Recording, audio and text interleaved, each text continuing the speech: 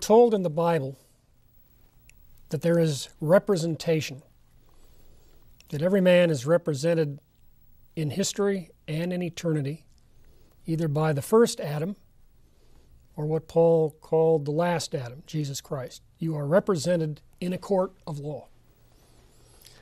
And the doctrine of representation is an inescapable aspect of all of Christian life and non Christian life. The biblical doctrine then says it's either Christianity or humanism, it's either Adam or Christ. But you have to have those who represent you in the same way that David fought Goliath. They fought as representatives. And the victory of the two would represent the victory of the two armies. That was why the Scopes trial was the crucial event. For in terms of representation, you had the most articulate representatives of the rival views. You had William Jennings Bryan, a lawyer, you had Clarence Darrow, a lawyer, and you had H.L. Mencken, who was an extraordinarily gifted journalist. And it all came together in the little town of Dayton, Tennessee. But the question really needs to be answered how did they get to Dayton, Tennessee? Why was this issue in 1925 such an extraordinarily powerful issue that the media could make it into what did become the trial of the century? So I want to go back. Historians always like to go back, so I got to go back. And I'm going to go all the way back to Isaac Newton. In the battle between the worldview of Christianity and the worldview of humanism, what I would call the worldview of God versus the worldview of man, and as to who is God in that worldview. The battle of the person who denies the influence of God is made in two forms, and we have to recognize both forms. One is what is associated with Newtonianism. He was not a Christian, he was a Unitarian. And he believed that the world was created by a sovereign God and that it was set up to operate in terms of laws of the universe, and that those laws were self sustaining once God had created them. Most of the time they were self sustaining, but he did believe that God had to intervene from time to time to get the system back in order. He argued that in 1686 in the Principia. By the time of his death in 1727, his own followers were trying as best they could to get God out of the equations. They wanted the system to be autonomous. And the Newtonian worldview, which was basically developed by his disciples, who were committed to a kind of philosophical atheism, became the model of modern science, at least with respect to physics and astronomy. It was a machine, a gigantic machine, predictable in terms of the movement of spheres, predictable in terms of the attraction of mass. It was a machine. Now, if there is a machine, you don't need God to run it. So that enables you to get God out of the picture. You, you push God out of his universe by means of natural laws that are autonomous. And that has been one of the strains of atheism ever since. Man as part of a machine. Now, the, the hard sell about that is then man becomes a cog in a machine. And most men don't want to be thought of as cogs in a machine. So, the other way to get God out of the universe is by means of some form of evolution some form of change, a process of change that does not involve the intervention of God. So that over long periods of time, the universe autonomously brings forth new species, new forms of life, or in fact, in, at one stage goes from non life to life. Somehow it does that. It's not a machine, it's an organism. And it's much easier for most people to understand organisms, life and death, than it is to understand the machine. And most people tend to say, I want to think of myself as being part of an organism rather than just being part of a gigantic machine. Both of them are inherently atheistic because both of them deny the providence of God. Both of them deny the law of God. Both of them deny the creation by God in the modern form. There has been a war in the West between those who are essentially Newtonians and those we would call Darwinians.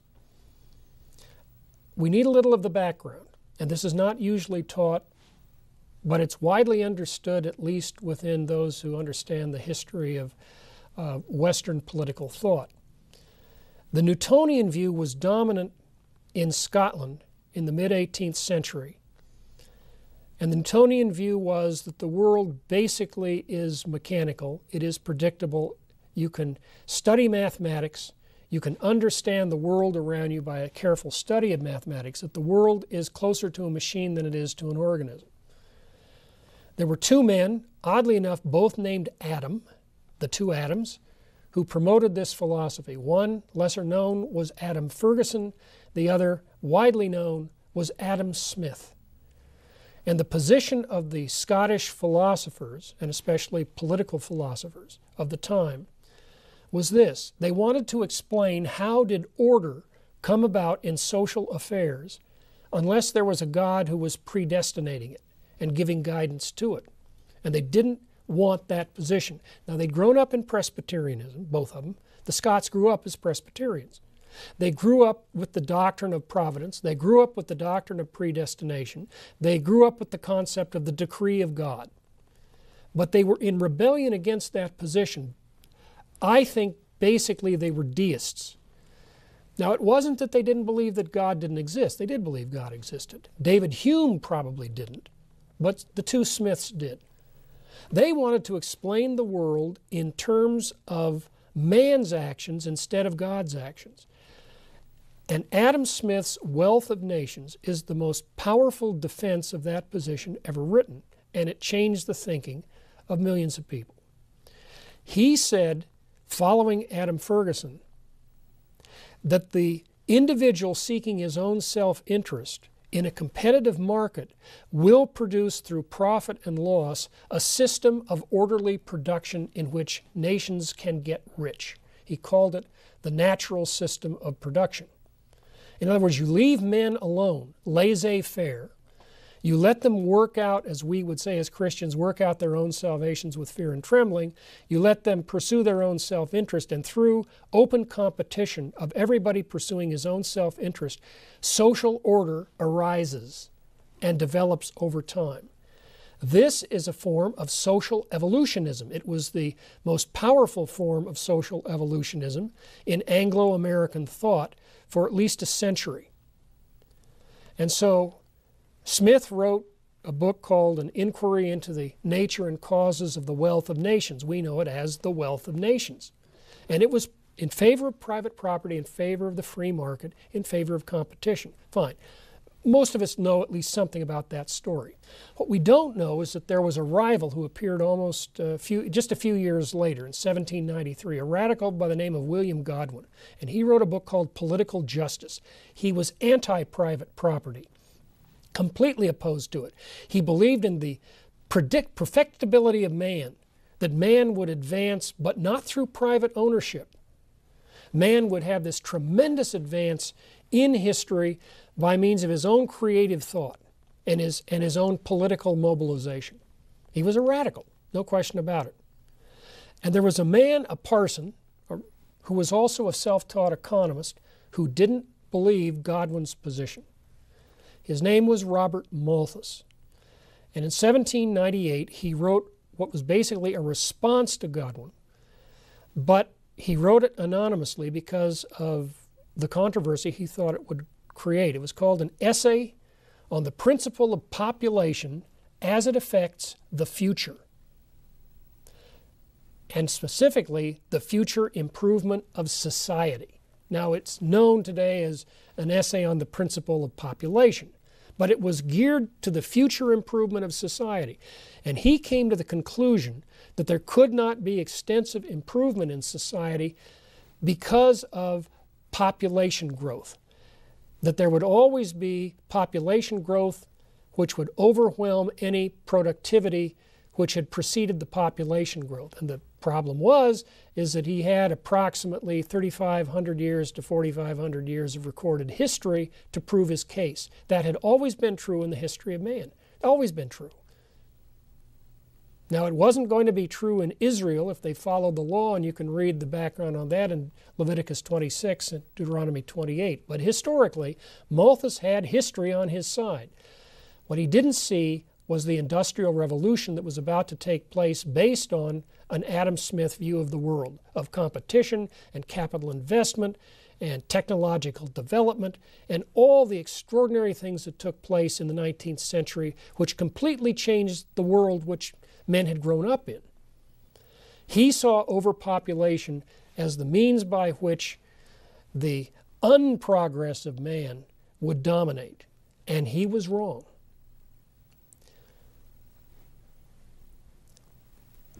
Over 50 years later, two men began thinking about Malthus and his theory, which had come, you understand, which had come in, re, in response to political debates. And he wasn't, he was an economist. Two men began to think about Malthus.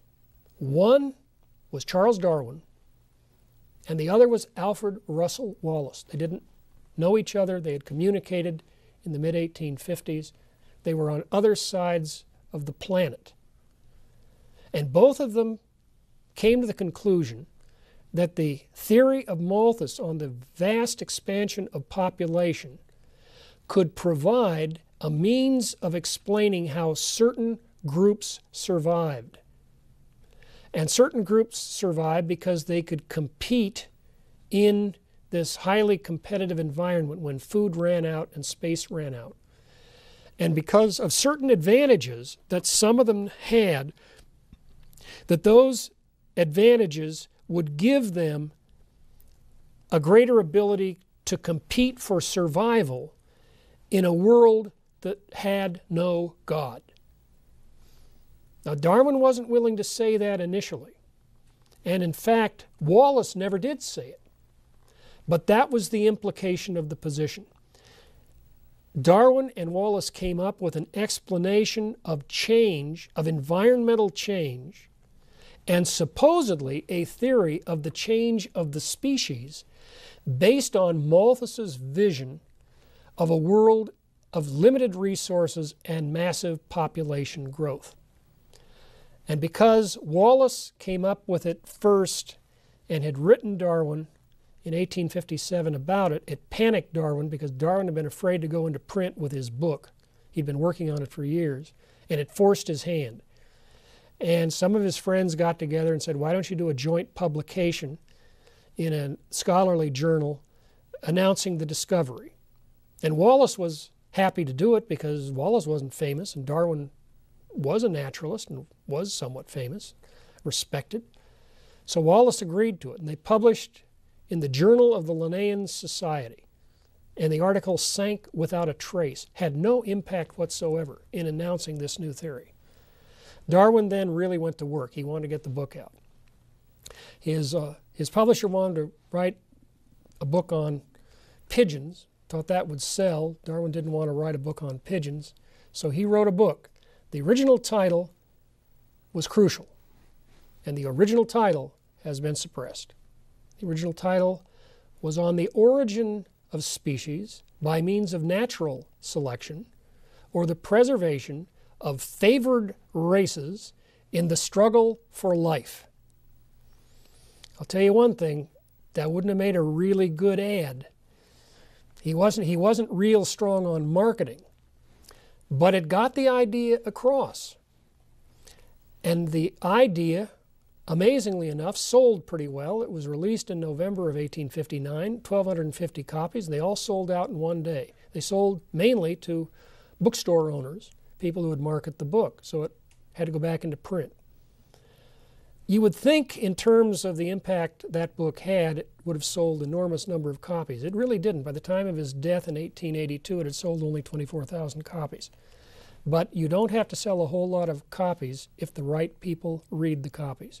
And what happened was one of those peculiar events, and I would have to say it was providential, that the book was sent to a reviewer of the most prominent paper of the time, the London Times, and the reviewer looked at it, and what reviewers almost never do, the reviewer sent it back, said, I'm not qualified to review this thing. So the editor, book review editor, had to do something. So he sent it to somebody else. He thought, well, maybe this guy can handle it. And the guy he sent it to was Thomas Huxley. Huxley read that book and was transformed. Huxley then became the greatest promoter of Darwin in that first 25 years after, after the publication of, of Origin of Species. Uh, he became known as we know him today as Darwin's bulldog. I want to analyze the title because analyzing the title is going to tell you a whole lot about the book. First of all, natural selection. Now, what did that mean? The model that Darwin used repeatedly in the book was of the breeding of animals. That's fine. There is breeding of animals. They don't change into another species, but within a species there is certainly breeding but there are breeders.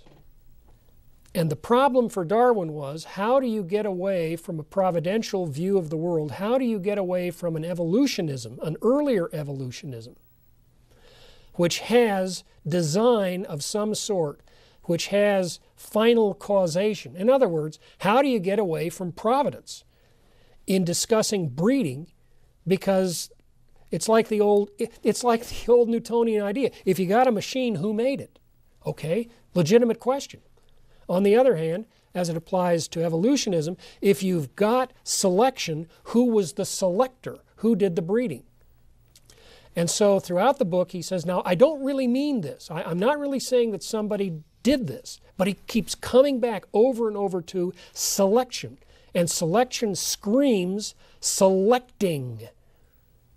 And so he had to use essentially a trick. That is to say, nature selects. It is natural selection.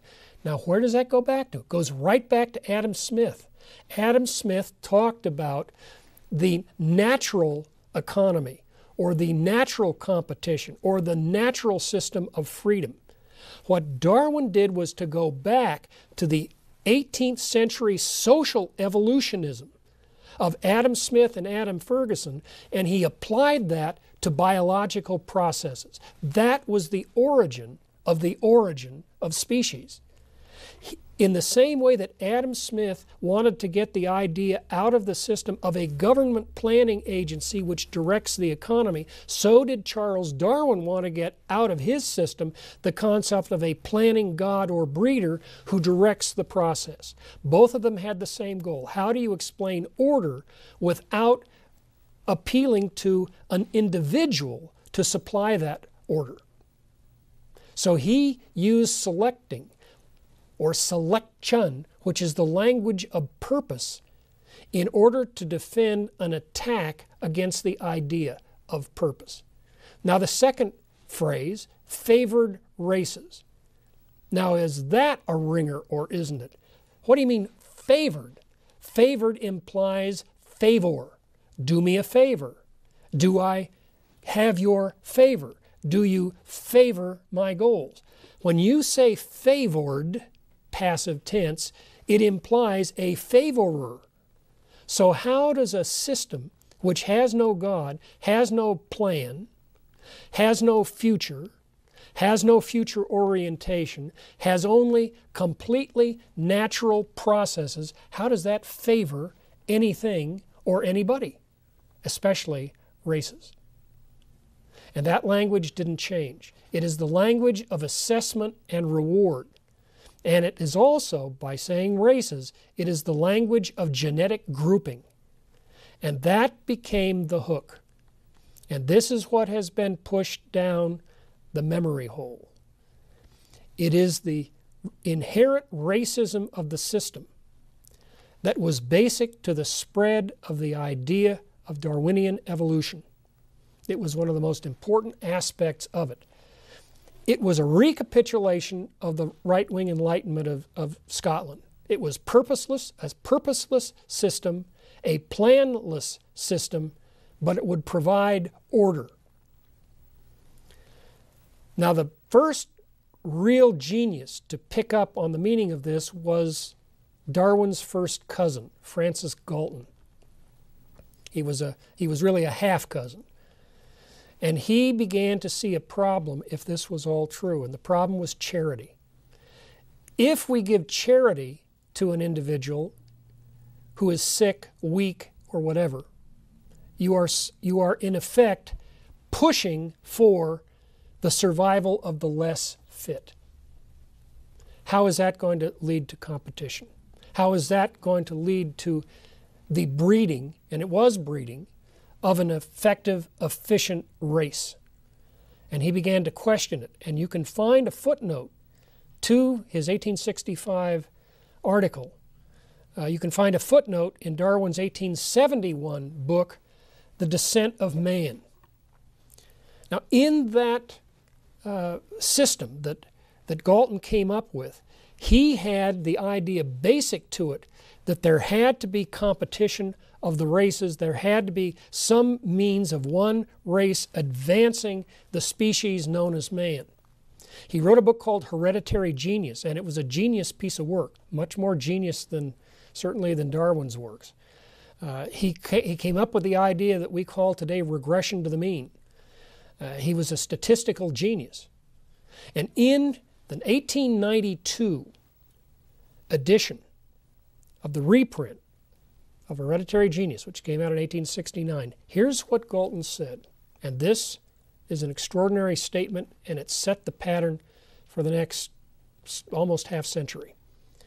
He said, The natural ability of which this book mainly treats is such as a modern European possesses in a much greater average share than men of the lower races. There is nothing either in the history of domestic animals or in that of evolution to make us doubt that a race of sane men may be formed who shall be as much superior mentally and morally to the modern European as the modern European is to the lowest of the Negro races. He called this system eugenics. He gave that name to it in 1883. He coined the name eugenics. It meant racial planning, it meant a means of stopping the reproduction of those races that were less advanced, that were lower in this scale of humanity. In Darwin, in 1871, this was before Galton had been so open about it, we find a similar statement.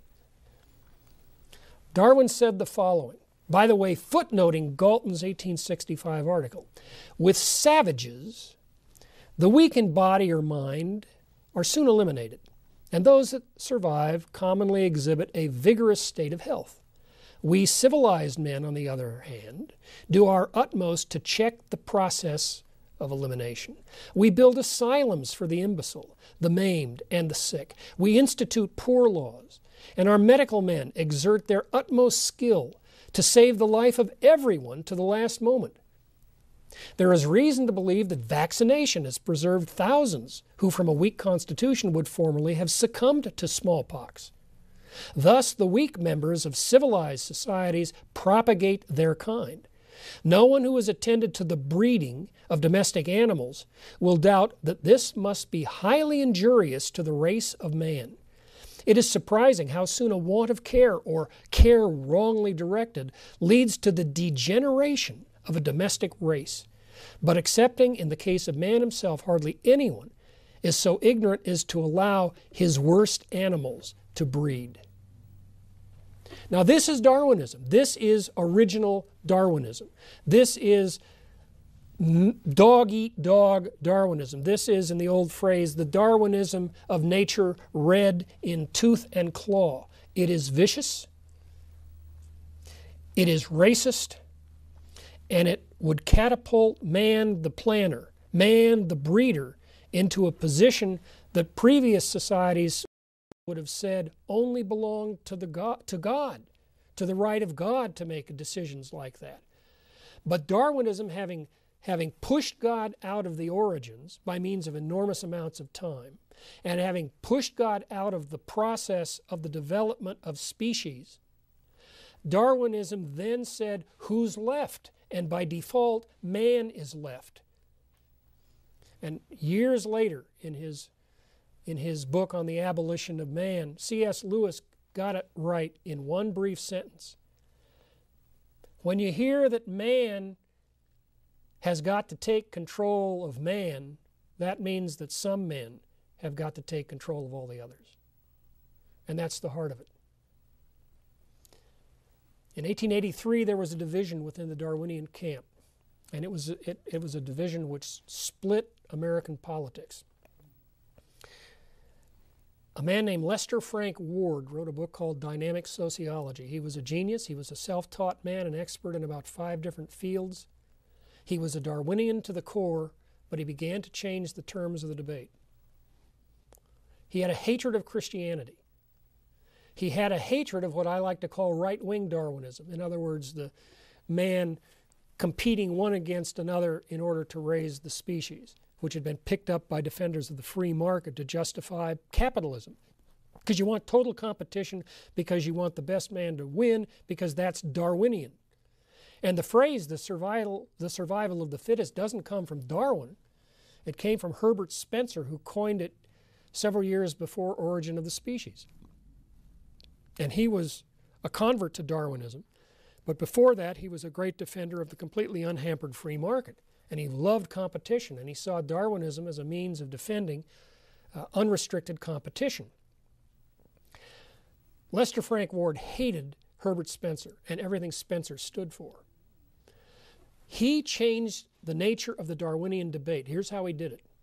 He said, with man, there has been he didn't use this language, but the meaning of it was a leap of being. There has been a great advance because of the mind of man. What man has that previous species did not have is an understanding of the Darwinian laws of evolution. And therefore, scientific men who can understand the laws of Darwinism can then apply these laws to begin to reshape society. He is known as the father of American central planning. Lester Frank Ward really deserves that title. He was a man who believed totally in the right and obligation of, of a scientific elite to teach politicians the laws of social development, Darwinian laws of social development, and to take control of the economy and the legal system. And he saw the central institution to do this as the tax funded school system.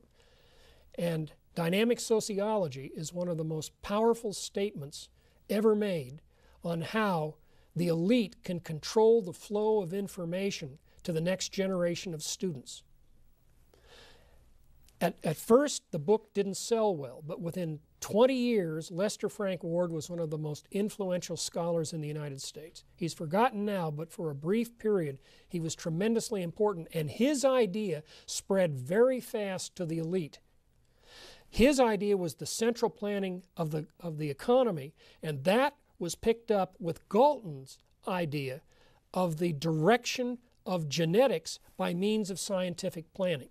Both required scientists, both required the power of government, both required some means of taking political control of the direction of government. In other words, it shifted from open competition to directed competition, directed evolution. Lo and behold, we got the breeder. Lo and behold, we got the planner. Lo and behold, we are back to where we were prior to, to Adam Smith's view of the open competitive market. So you had two debates within Darwinism. First of all, you had purposeless conflict, which leads to progress. That was original Darwinism. Now, after the 1880s, you had a new view scientific planning leads to progress. Both Darwinian, both atheistic, both committed to progress, both determined to keep Christianity out of the debate. Here's what you did not have in 1885 in 1900. You did not have debate over the following there is a hierarchy of races. It is an intellectual hierarchy, it is a moral hierarchy. Notice it's not necessarily a biological hierarchy. It has to do with culture, it has to do with IQ, it doesn't have to do with anything else. Now, the guy who knew that was fake was Wallace. Wallace smelled a ringer on that one. He knew that was fake because he said the mind of man is some great evolutionary leap. That, you, that, the, that the IQ of somebody in some backward area, you have very brilliant people all over the world, and evolution can't explain why there should be this enormous increase of the power of the mind of man compared with all other animals. And he became a spiritualist. He wouldn't buy into the atheism at all. But nobody paid much attention to him. Within the debate, within Darwinism, in other words, within the camp of the, what we might call the camp of the unfaithful, there was an open rejection of the Bible and everything connected to it. This led to social Darwinism. But social Darwinism, as I've tried to present here, had two sides. What I would call the right wing guys, guys like Spencer and, uh, and Sumner, people who defended the free market based on the original Darwinism of dog eat dog. And you had the progressive movement, that is, the planners, the guys who took seriously all the business about breeding, all the business about scientific knowledge. And they were at war with each other for the minds of the American people and the American, not necessarily the American people, but certainly the American educated elite. It was the progressive movement of the statists, the planners, versus the free market. Both rejected the Bible. Now, within Protestantism, we have exactly the same debate. On the one hand, you have what you probably should be called, although it's premature in 1900, but what we would call fundamentalism commitment to the Bible, commitment to the doctrine of creation, commitment to the doctrine of the final judgment, commitment to the idea that God directs the affairs of men, that prayer works, that prayer calls upon a God to intervene. Galton had spent a whole chapter saying there's no statistical evidence that prayer changes anything. He understood what prayer meant. He did not want that kind of viewpoint to get any kind of wide, uh, wide acceptance within what he would call the the educated community of the elite. So you had then within Protestantism, on one hand, fundamentalism, at the same time, you have the rise of the social gospel movement. And the social gospel movement believes that Christianity is mostly about changing society, mostly about getting control of government, mostly about taxes and redistribution of wealth and control over the affairs of men's lives. Now, there were some, go, some social gospel men who were believers in the Bible. You could find a few. And you could find some fundamentalists who believed that government ought to intervene in the economy. And the most famous of all the fundamentalists who believed that was William Jennings Bryan. And there was a movement called populism. It was basically a rural movement and farmers organizing to get certain kinds of government controls over the uh, markets for grain and other, other uh, agricultural produce.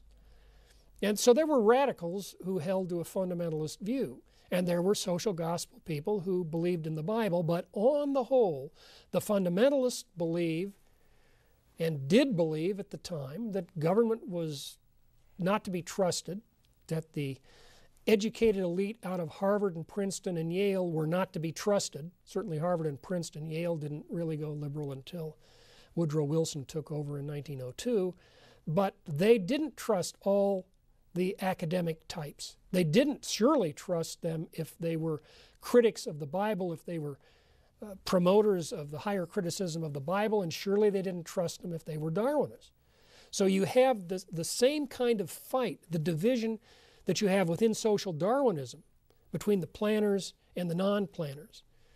Uh, you have the same kind of fight within Protestantism between the social gospel people and the fundamentalists. Now, there were no six day creationists, or if there were, they haven't left any record. There was no institutional defense of anything that we would call the six day creation. But nevertheless, there were men who understood that God had created the world, even though maybe he did it in age day system, or maybe he did it with a gap system, but there was no question in people's mind that God was the creator. And William Jennings Bryan was the articulate defender of exactly that position. This takes us up to about 1900. The difficulty that we have in tracing the history beyond that, it does get very complex. The battles get very subtle. Battles from one denomination to the next between the modernists and the fundamentalists or the more conservative people. Uh, the, the battles begin to shape uh, American Christianity. There's no question about it. What we find after 1900 is that the intellectual elite begins going more and more in the direction of Lester Frank Ward and the idea of central planning. The government has got to intervene to direct the economy. That becomes the viewpoint of at least the educated elite that, that wants to uh, extend scientific planning and scientific thinking into the realm of politics. Now, they're not all socialists. I'm not saying that. Some were, most weren't. They were interventionists they were what we call progressives. And they generally, as I've said, they were not great believers in the Bible. The issue becomes increasingly, after about 1905, the issue becomes eugenics. And the elite members of what we might call the intelligentsia begin to move in the direction of Galton and the eugenics movement. And their belief is the lower classes reproduce too rapidly, and the upper classes tend to limit the number of children. The upper classes had the advantage of birth control methods, and the lower classes did not. And this they saw as a threat.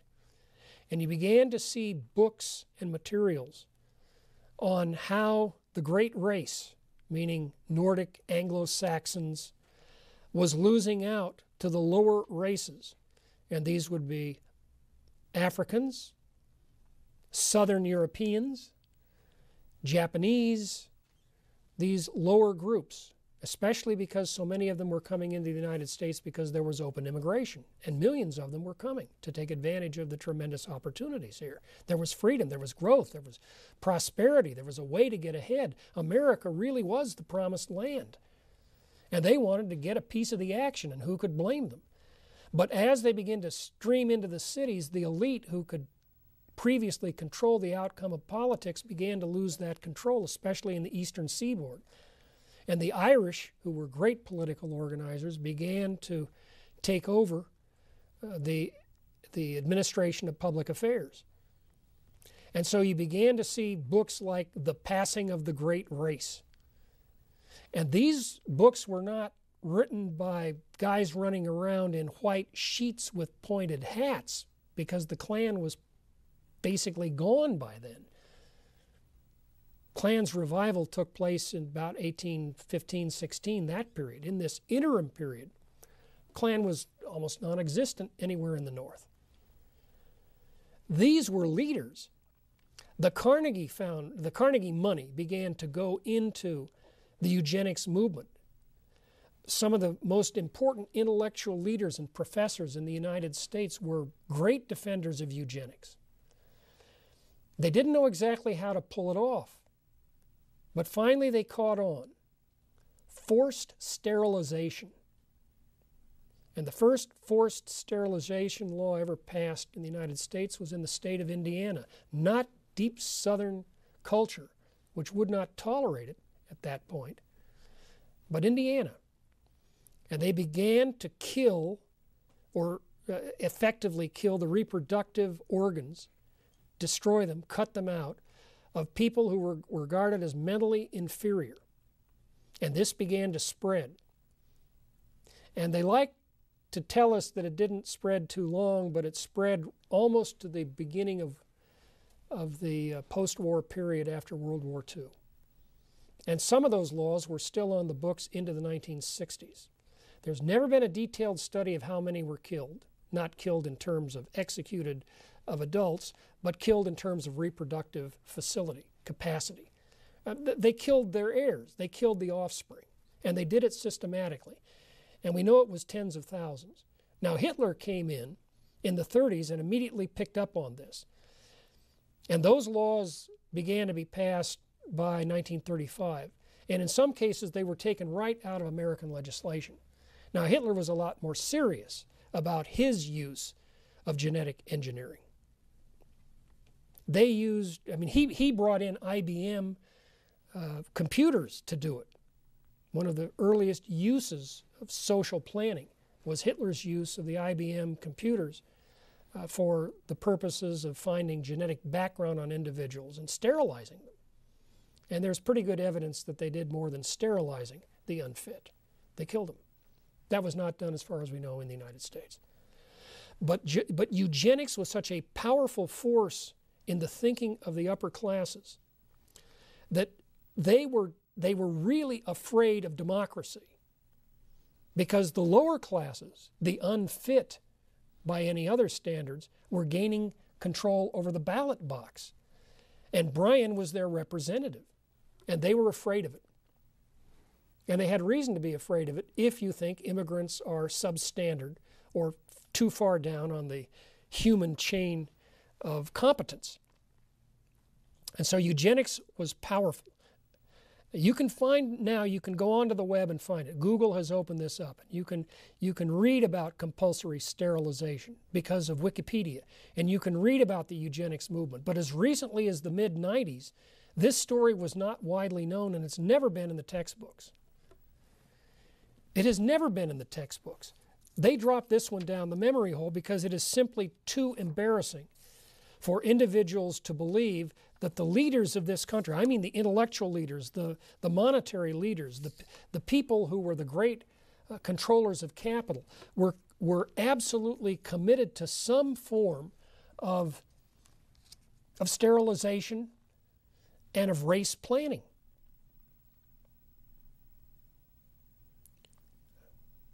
You had Margaret Sanger, the founder of Planned Parenthood. You can go and get her book. It's it went into the public domain called The Pivot of Civilization. It was printed in 1922, just before the war that began in in uh, Dayton, Tennessee. Yeah, read it. If you think this was not the goal, she wanted Planned Parenthood to stop the reproduction of Irish and other lower class individuals. That was the goal, and she was open about it. And she was not alone. She was not a crackpot. She was able to raise money for the cause. This was a common view, and the man who fought it was William Jennings Bryan. And what happened was, in 1921, Bryan gave a speech, series of lectures actually, on Darwinism and the Christian view of man called In His Image. It was published as a book in 22, In His Image. It was a powerful series of lectures, and he went to the passage in, in Darwin's Descent of Man, where Darwin said charity weakens the race, and he was outraged. And he had never really gotten into this fight before, but he realized that was opposed to everything he believed in. It was, it was a belief that we should not help our fellow man, that there was something wrong with charity and assistance. And he began then to preach it. And that was what got him into the fight in the public schools over not having Darwinism taught in the schools. He believed that the left, we would call the humanist left, he believed that they were using the public schools and tax money to promote a view of man which he believed was demonic and said so. And so when he began going to legislatures and when he began going to the public saying, we've got to have laws against this, he set himself up for the fall. He made himself the lightning rod, and it was self conscious. He knew what he was doing. He was a great speaker, he was a great organizer, he was widely respected, he had the mailing list, he knew his audience. He knew Christians could not tolerate this view of humanity. He did not believe in eugenics, obviously. He was a Christian man, and he knew this was a war for the hearts of the people. And he knew that the battlefield was the public schools, that money was being taken from Christians. Money was being taken from Christians to promote this view of life. And the, and the, doc, the document that promoted it openly was a book called A Civic Biology, published in 1914, and it was that book, racist to the core, that was used in Dayton, Tennessee during the week the John T. Scopes served as a substitute teacher. That was the war. That was the road to Dayton. It was a road based on the intellectual elite of the United States, which was committed to a form of racism, which went so far as to say we've got to sterilize people, and they got legislated, legislation passed to sterilize people. Over half, over half of the states in the United States in 1956 still had the compulsory sterilization laws on the books. Over half. Now, they weren't being enforced, but they'd been on the books for years. This was not some minor movement. William Jennings Bryan wasn't taking on some obscure group of intellectuals. He was taking on men who controlled the legislatures of this country. They had to stop him. They stopped him in the initial stages in that series of articles published in early 1922 in the New York Times, in which they savaged him. These men, they were eugenicists, and they savaged him and they savaged all the people he represented. The ignorant fools, as Mencken called them, the bourgeoisie. And they savaged these people because they were Christians, because they didn't have sophisticated educations, and because they wouldn't sterilize people who didn't meet their standards. And that was the road to Dayton. That's why it was a showdown. The intellectual elite of this country, of the United States of America, knew in 1925 they had to take Bryan out. And in the court of public opinion, though not in the Dayton court, they took him out.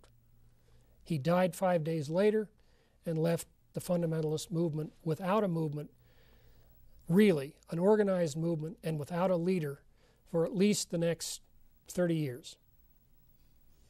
That was the story leading to Dayton. It was not about the smart, rational people of science versus the poor, ignorant fundamentalists who couldn't make it into the 20th century, except insofar as poor, ignorant fundamentalists knew that you didn't sterilize a woman without telling her that that is what you had done so that she could not reproduce. And within two years, that went to the Supreme Court of the United States in Buck versus Bell, and the court decided it was legal and constitutional to sterilize these people. And in the famous line of the most committed evolutionist on the court, Oliver Wendell Holmes Jr., three generations of imbeciles are enough and only one man on the court voted against it. Within two years of Dayton, this country authorized the compulsory sterilization of women without their consent, without their knowledge, to stop them from reproducing. This was a fight for the heart of America, and the fight still goes on. We hope that we can win this fight in our day. And if you are in, in any way interested in this story, if you have any skills to get in this fight, if you want to study the road to Dayton in greater detail, if you want to make certain that this kind of false false advertising, which is what the story of Dayton is in the conventional press and in the textbooks, if you want to stop it, then I encourage you to do what you can to commit your life to getting on board what is clearly and has long been a political fight. It is a life and death fight. It is the kingdom of man versus the kingdom of God. And there are no neutral positions anymore. Since 1925, there's been no room for neutrality. This was a fight I think it cost Bryan his life. It certainly cost him his reputation. He fought the good fight as best he could. I think we can fight it better. We surely are not hooked in by the age day view of origins. Six day creation gives us a, a basis of fighting far superior than what Bryan had. If we can do better than Bryan, we should. We've been given the tools to do better than Bryan.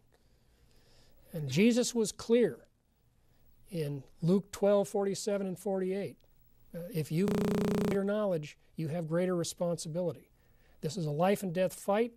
It involves your commitment, and I would strongly encourage you to follow that commitment in whatever capacity you have, with whatever skills you have, to make certain that we never again get back on the laws and the law books of this country or whatever country you're in, the right of the state to sterilize women because they are of the lower sort. Because that is Darwinism to the core. That is where it leads to, and that is why we have to fight it.